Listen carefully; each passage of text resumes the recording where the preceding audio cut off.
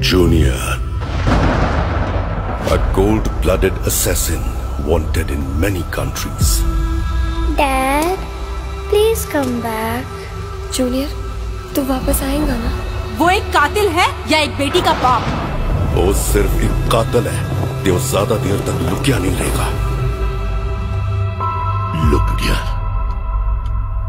हो सकता है रुक गया no bloody way